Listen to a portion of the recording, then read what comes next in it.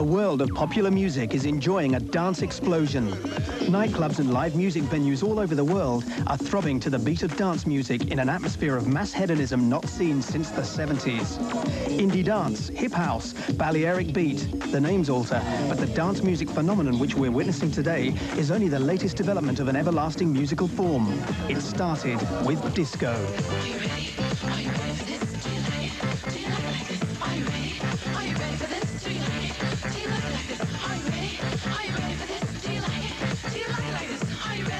Although disco quickly grew into a lifestyle based on cheeky humour, hedonism, thinly veiled eroticism, and a universal dedication to partying, the key elements of early disco were clubs which were difficult to find and records which were impossible to buy. I think of disco starting as um, sometime in 1972 or 3 when there were a lot of clubs that were happening in a very underground way. It started out of clubs in New York, you know, playing records that were hard to get. These were records that had that great sort of early disco beat, sort of 4-4 beat, a soulful feel and excitement. But they were short three-minute records, and so uh, innovative people like Tom Moulton started making their own longer version. And then guys at record companies like Mel Cheren, who was working at Scepter One, he was aware of what Tom was doing, and he started hiring him to mix their records.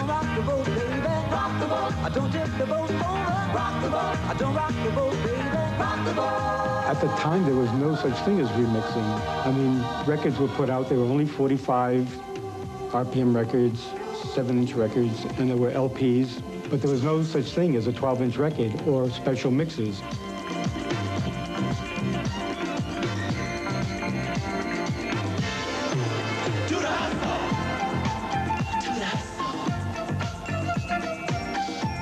Championed by Mel and Tom Moulton, the 12-inch single defined the disco sound in the mid-70s and carved out a new era in dance culture. So too did the questionable fashions of its followers. The 70s disco queen is, is quite something different. I think um, silver platform sandals, definitely. Gold Lurex tights, hot pants, and uh, possibly a feathery jacket, an outrageous coloured wig. Lots of black eyeliner. Or the body glitter is, got, is a must for the 70s disco person. To have false fingernails, very long ones, and usually painted with glittering varnish. Drag up, burr wigs, blow whistles, throw glitter, very disco.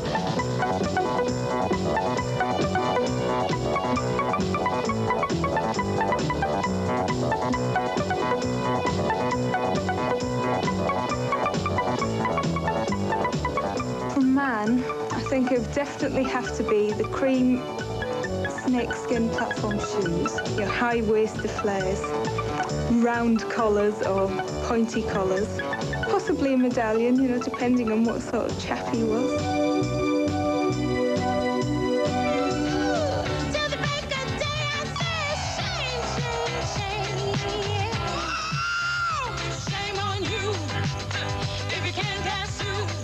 Hybrid of references, Motown, Philly, salsa, the drums of Africa, the synthetic pop of Europe, were starting to fuse into an irrepressible musical form. But above all, it was the hypnotic disco beat which unified the crowd. Dance music has, has been the same from the Four Tops doing Sugar Pie Honey Bunch, I Can't Help Myself, through to uh, Adamski and the house stuff. It all has a boom, boom, boom, boom, boom, monotonous beat. And that's what's tied it together. Well, I started playing here in New York City in 1971. At the time, music wasn't being designed for the dance floor the way it is now. You know, strictly being designed for the dance floor. Uh, most of the music, the most popular music then was coming out of Philadelphia. And so the Philly sound came in vogue in the early 70s with the Three Degrees, Harold Melvin and the Blue Notes, the O'Jays, and they all had the, the boom, boom, boom beat again.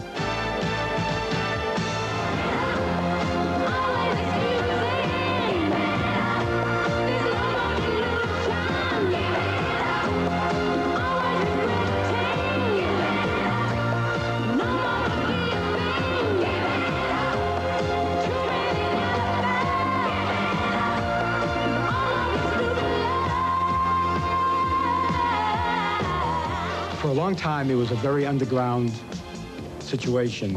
Um, Tom was the one that suggested to me to put the first record on, one of the first records, to put on 12 inch to spread the grooves so we could get a better sound. He took these tapes home and on his own machinery had created the uh, mix. And as he told me, the pattern of music didn't flow properly, so he broke it all down, and that's what created what we later called the break. I think the break, I suppose, was the, one of the most important parts, and that's where, I suppose, culturally, in England, we missed to a certain extent because in England, when, in the DJs in the late 70s played that music, they put on, you know, Crown Heights Affair or T Connection, do what you want to do, and, and they played it to the end, and then they played the next record, whereas in America they were already buying two copies of things, and then when it got to the break, the crowd would whoop and yell, and the DJ would go between the two breaks, and that's where the breaks came from. Stop that voodoo spell you're laying on me. Help me. Kiss Kiss. You'll make an evil woman out of me. The early disco worshippers embraced bad taste references and outrageous flauntings of sexuality, with saucy gay humour finding a popular platform and a willing audience. The joie de vivre of the gay crowd provided a new layer to disco which was reflected in the double entendre of many song titles. Push Push in the Bush, Strut Your Funky Stuff and so on.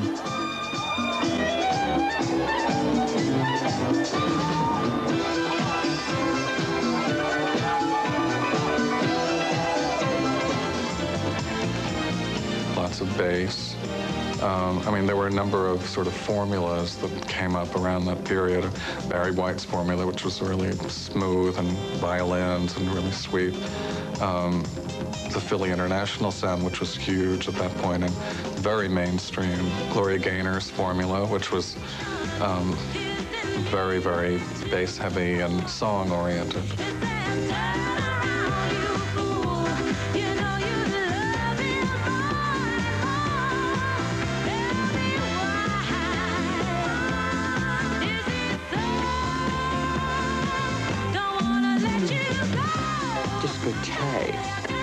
Was a French word originally, and I think Chubby Checker's re record at the discotheque was very important in getting the word into people's consciousness. But the scene certainly existed long, long before. It's just that we didn't have that handy label to describe it. Um, I don't use the word disco to classify any type of modern music. But uh, I think the whole persona of what a lot of journalists call disco today, or you could call it house or hip house, I think it's kind of silly to put a label. I think house music was always here. I mean, if you look at the early records from the 70s, there are a lot of those records that happened in the mid-70s. A lot of stuff that came out of Philly International. That was the first kind of house music, I think. Burning,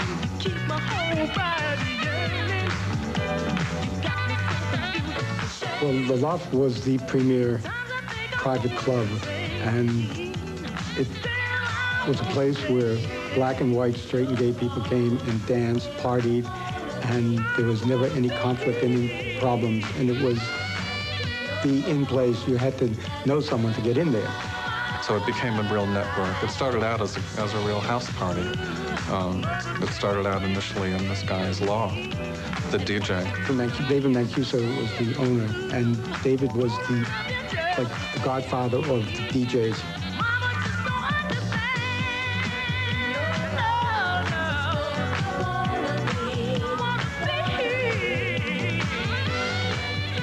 More and more, there were records that were made and marked for DJs only. And that was great. That was like the, it was just what the DJs wanted, and it was just what the club people wanted. And It was a real cult audience at, the core of it. The DJs, of course, made a, a kind of continuous pattern that you didn't have just to break between records, but the longer a record was, the more you could sort of flow with it. The sort of peak of that experimentation was Donna Summer's Love to Love You Baby more than 15 minutes on a side, and the perfect disco record.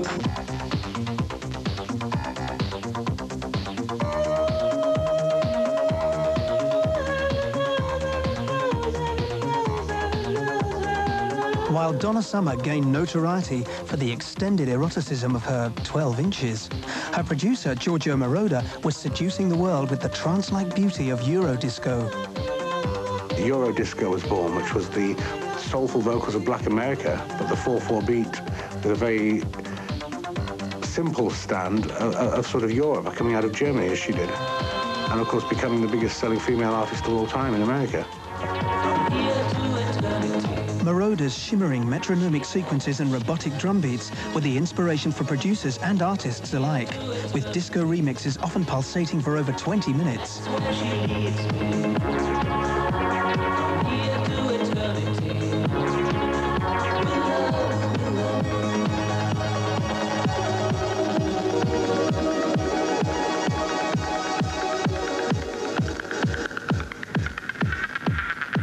As far as the record companies were concerned, we were a pain in the ass. They hated disc jockeys. They hated us coming up to the doors, banging, asking for records.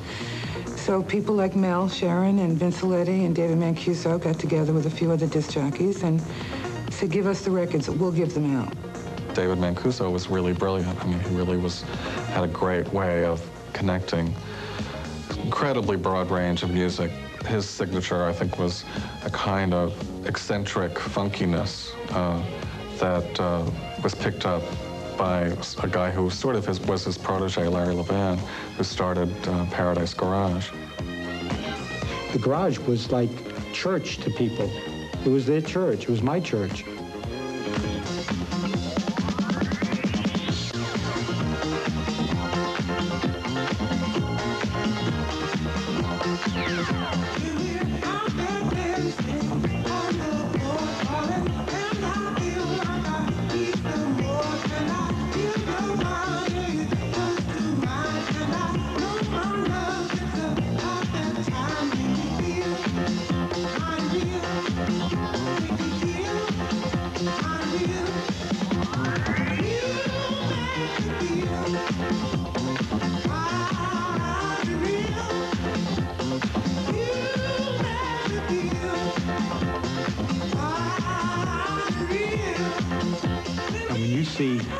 2,000 people reacting to a song, you know that you've got something. Absolutely. I mean, it wasn't even underground, the Paradise Garage. It was a city unto itself.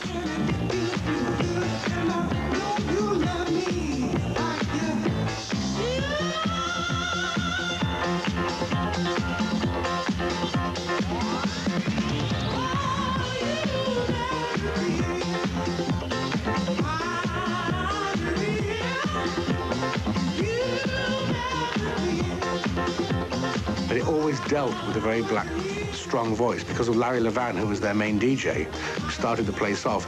And Larry created this garage sound. It was the hip place to be.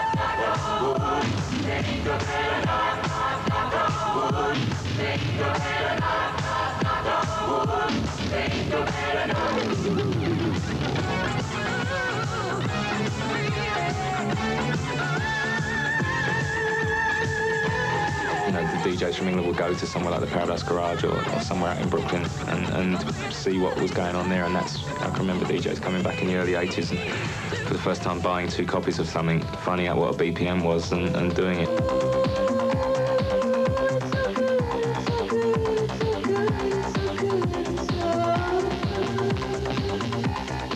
Used to go to Wigan Casino and check out the Adidas bag crowd, which is the Northern Soul scene, I guess and um, it's quite a, a big influence early on, the whole night scene, like an alternative society, I guess.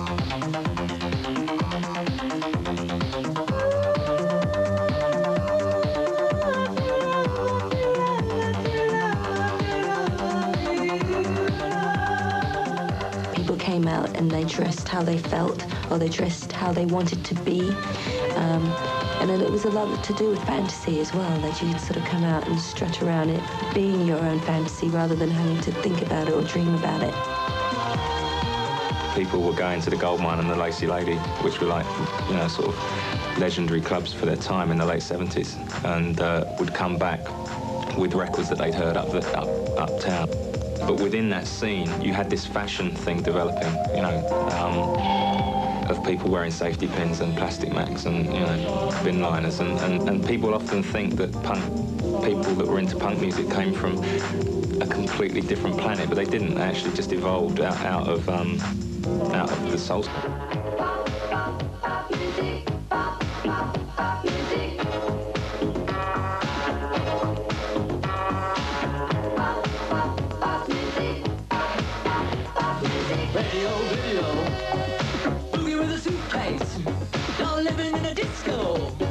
Inevitably, the underground sound of the disco clubs went overground and into the pop charts. Disco elitism mutated into the world's chosen pop form in a few short years. And when the music business finally started realizing that these things were coming from a really active club underground, um, it wasn't underground too much longer.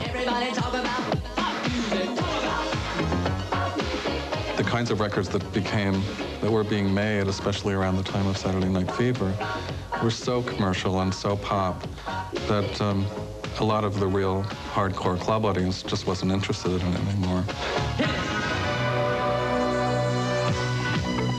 Everyone from Rod Stewart to the Rolling Stones was releasing a disco remix of their latest tune. Clever opportunists started to exploit the formula, a bit of sex, 4-4 beat, and a ridiculous outfit guaranteed a respectable chart position.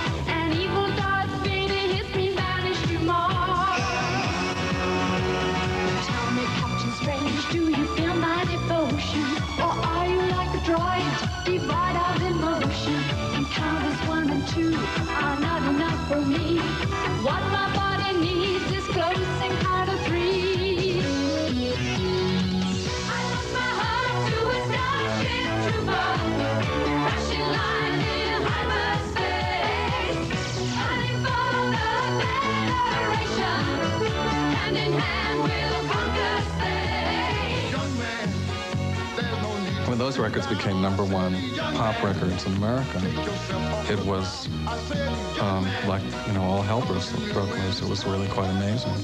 Did a lot for the polyester set, as they call it.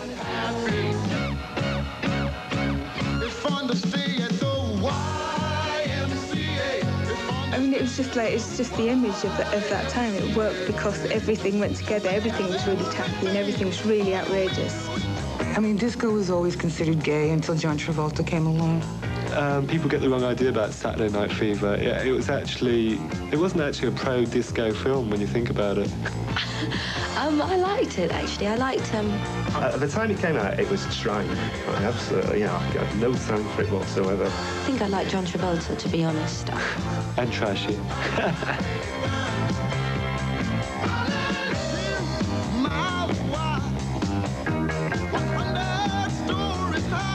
certainly a lot of the Saturday Night Fever stuff was hardcore club and the Trammps and some of the music that was on that, that album. But the Bee Gees were not and never, never were accepted in a real way by the club audience. It was the major labels looking at, okay, we can make money now. So they made all the money they can, and they got out of it quickly. And uh, it was disco, but it was also the end of disco, Saturday Night Fever.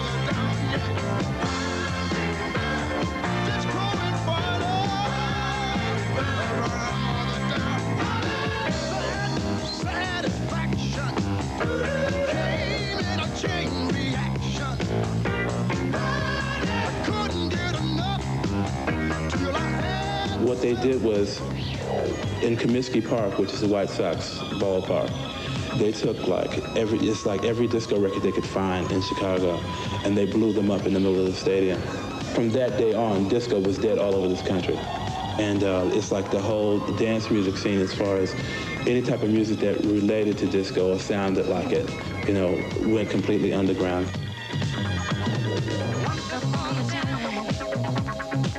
Science opened up the door. We would feed the hungry feet till they couldn't eat no more. But the portions that we made. By the close of the decade, the word disco was synonymous with mass-produced overkill. It looked like curtains, but the supernatural allure of the dance floor was not done yet. Not by a long way.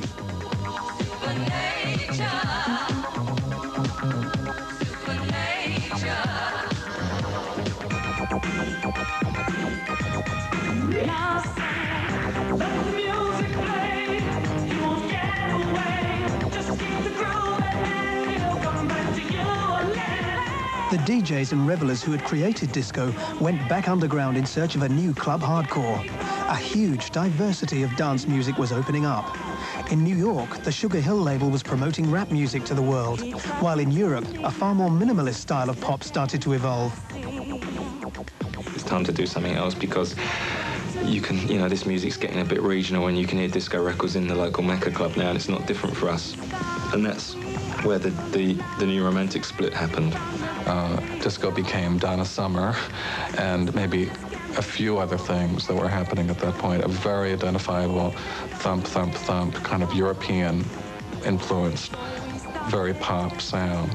Yeah, they were really heavily influenced by these like industrial pop records from Europe, like Depeche Mode, like you say, and, and Kraftwerk even from Germany. From the core of Joy Division came New Order, Factory Records' flagship group and Europe's most innovative disco experimentalists. Subsequently remixed by Arthur Baker, their dance pedigree is unrivaled. New Order are, and always were, disco. Disco was a, it was dirty, wasn't it? Really, uh, in in those days, it, it, nobody liked it. It was dance music, but um, it wasn't kind of like disco dance music. It was very, um, a lot more kind of stark and European, and obviously heavily influenced by Kraftwerk.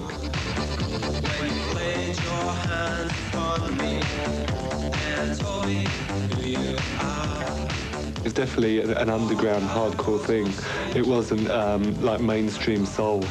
It was uh, something a lot more exclusive and fashionable.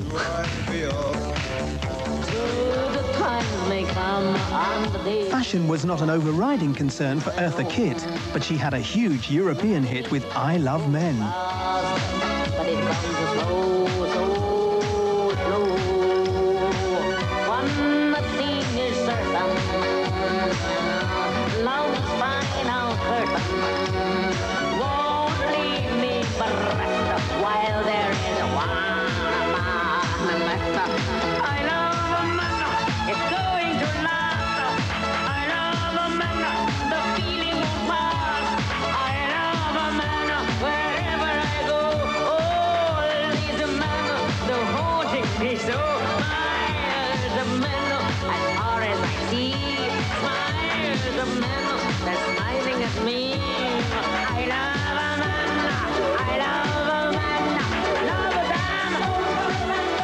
Track was a return to disco's gay roots, drawing on the trinity of a disco diva, a sweeping sexual innuendo, and a pounding 4-4 beat.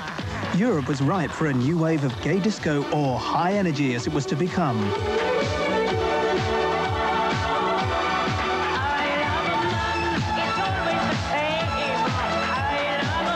Disco died in the public's eye, and in the in the record company's eye. It did not die in the eye of the clubs. I mean, the clubs that had started the thing off, the gay clubs particularly, were still playing it as strongly as ever. People used to take us out after gigs, Yeah, and I go and to that's how we sort of got into. we go to these strange mm. clubs, and they say there's not many women here. That's good records. It's good. We'll continue our look at dance music when stage returns.